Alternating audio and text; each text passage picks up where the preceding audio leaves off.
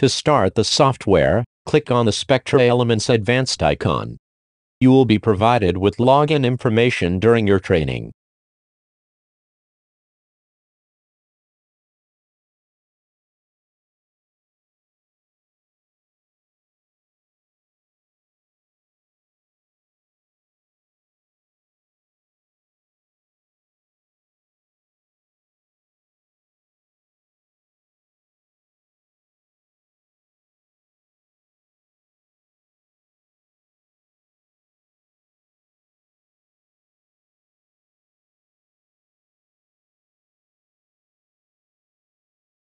We will use primarily three tabs, Loader, Results Manager, and XRF Evaluation.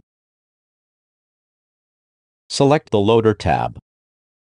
There are several ways to add a sample to the loader. Either you click Create New Specimen, or you can use the sample loader itself. Let's use the left-hand window to create our sample. Select Smart Element, or Smart Oxide depending on the type of sample you plan to run. Our first test sample is a piece of copper so we want to select Smart Elements. Type in your sample ID, we recommend using your initials as the first two characters. Select the type of preparation, in this case it is a solid.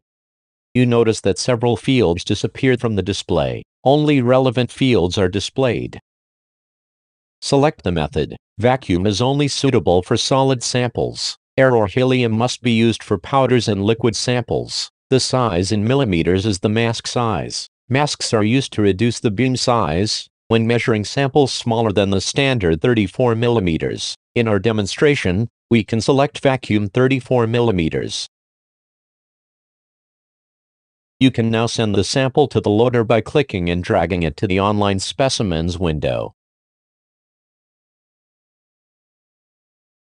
You can remove it by clicking Remove while it is selected.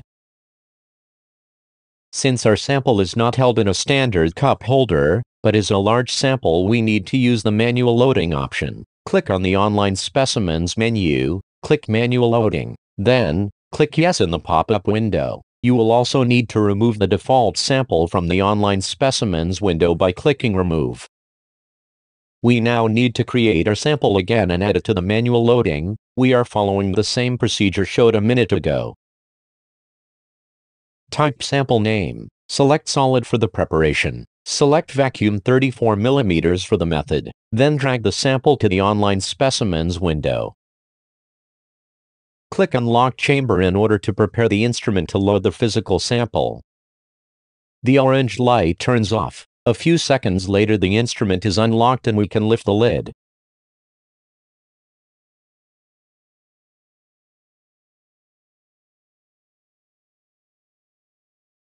This is where the X-ray source is. The X-ray come out from there and illuminate the sample.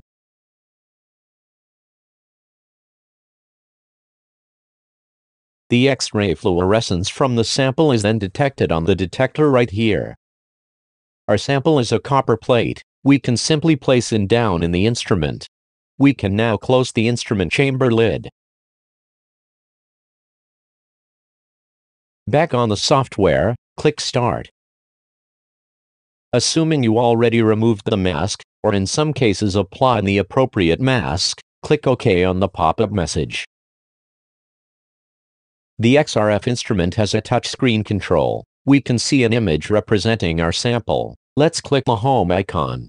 You might find useful to use touch control, live spectrum, and status display. Let's look at status display. Here we can see the instrument status, and in particular the actual pressure. We are waiting for the instrument to go down to base pressure before the measurement starts.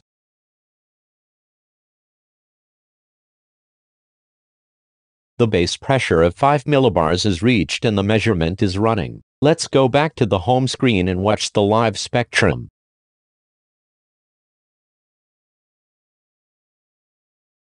One can overlay the fluorescence lines of specific atoms by clicking on the line marker icon and selected the appropriate atoms. It is also possible to zoom in on chosen area by drawing a box.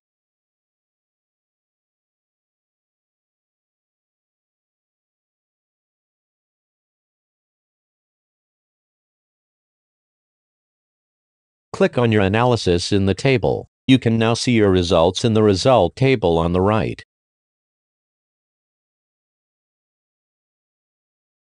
Click the printer icon on the menu to produce a document highlighting the peaks corresponding to each of the elements detected by the software. Use your knowledge of the sample and a critical view of the data to assess if any peak was misidentified.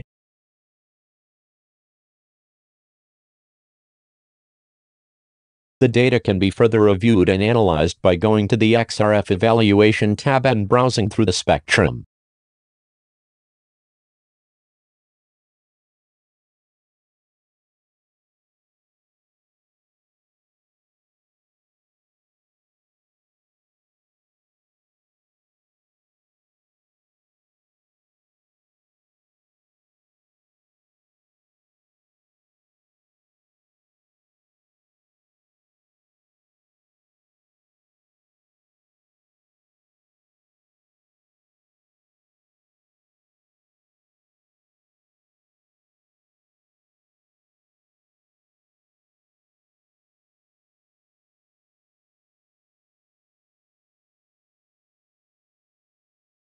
In order to remove your sample, in the Loader tab, click on Lock Chamber.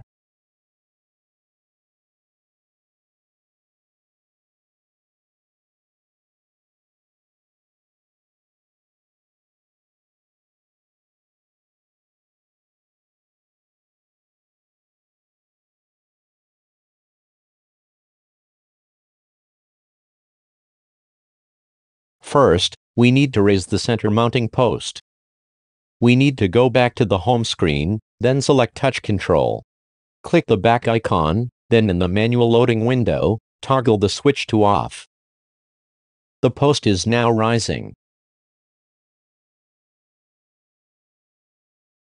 Place the carousel on, then, twist a little to sit it properly. Our samples are loaded in the carousel, so we can close the sample chamber.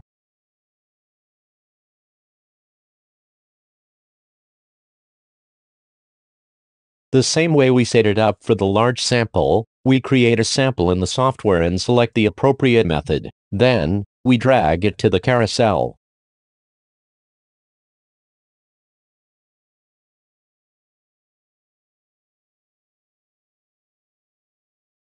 We can then start the measurement by clicking Start.